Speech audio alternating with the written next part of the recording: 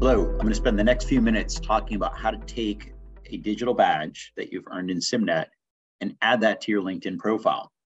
First, it's great that you've earned a badge. As you can see here, I earned my level one white belt PowerPoint badge. And so this is fantastic. It shows that I have some proficiency in that application.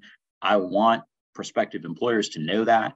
So this is a wonderful thing. The only problem is if I don't get that badge onto my LinkedIn profile, then effectively no one knows that I have that skill. So it's critically important to move the badge from SIMnet over to LinkedIn. So I've already queued this up that I've got my LinkedIn profile pulled up. To begin with, first and foremost, you must have a LinkedIn profile. So it's critically important that everyone today have a LinkedIn profile. What's happening is employers are starting to look for prospective employees by going right out to LinkedIn and finding out what they know. And what's great about a digital badge is that helps an employer know what you know. So the badge shows some level of proficiency. In this case, an employer can know that I know something about PowerPoint by having completed the badge. So you could see here, the badges come into the licenses and certifications section. And in that section, you can see I've got uh, a variety of badges here. And in total, I've got 22 licenses and certifications that appear in this section.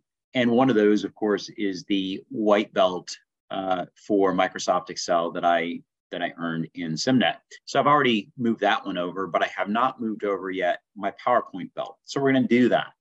Now, to find out where you are in the process of earning a belt in SIMnet, if you go into the library and then pull up the book that is um, relevant to what you're working in, you will see a progress monitor here that will tell you where you're at. In this case, you can see that I've done 100% of the work necessary. In this case, these were the let me tries. So I've done 100% of the work necessary to earn the white belt. Now I have it.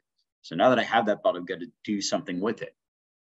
If you can't remember how to get here, that's fine. There's actually multiple ways to get to your, your digital badges in SIMnet. For those that are completed via the Let Me Tries, those are the white and purple belts. You can find those by going into the book. However, uh, there are other belts that you can earn. And so if you, let's say, earn a yellow belt or a black belt, uh, you would need to come into the credentials area. So what I did is I clicked on my name and then went into the credentials link. And here I could see my white belts for Excel and PowerPoint. And as I said, I've already moved this one over. So the white belt for Excel has already been put onto to my LinkedIn profile. However, I've not done that for PowerPoint. So we want to do that now. And uh, as I mentioned, first and foremost, you have to have a LinkedIn profile. So make sure that's all set up. Make sure you're logged into your LinkedIn profile because that's going to make things a lot easier if you're already logged in in that session of your browser. So uh, once you do that, we want to take a look here at the full credential and you can see greater level of detail here by scrolling down through and we can see this uh, details the skills that I know, which is excellent for an employer who might want to hire me. They can come into here and see exactly what I know. But again, I'm still stuck basically in SIMnet and I need to get this to LinkedIn. So what you will see when you come into this screen is you're going to see the add to my LinkedIn profile link, which is located here. And by clicking on that, uh, I then get a couple of options here.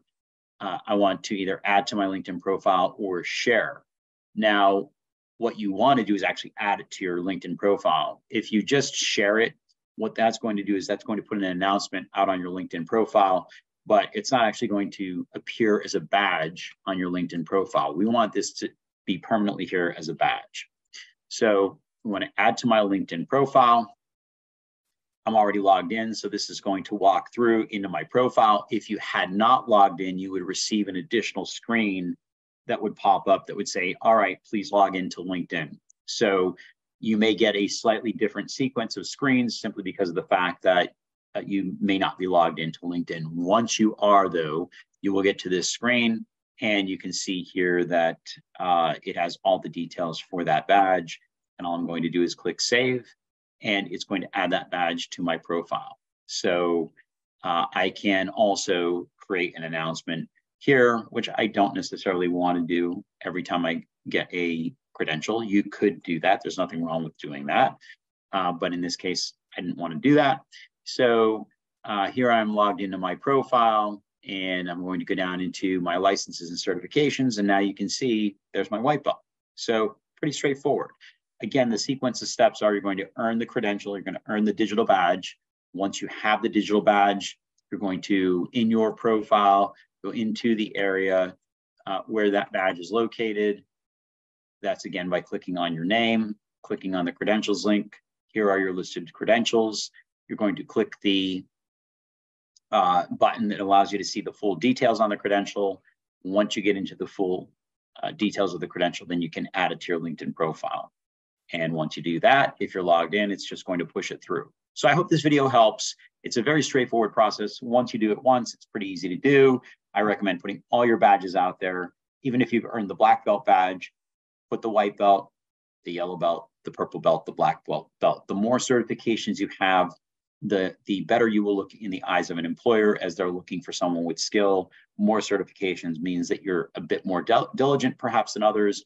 It means that you have better proficiency, possibly than others. So every little bit helps when you're when you're pursuing a a potential job. Hope this helps. Thank you so much. Hope you have a great day.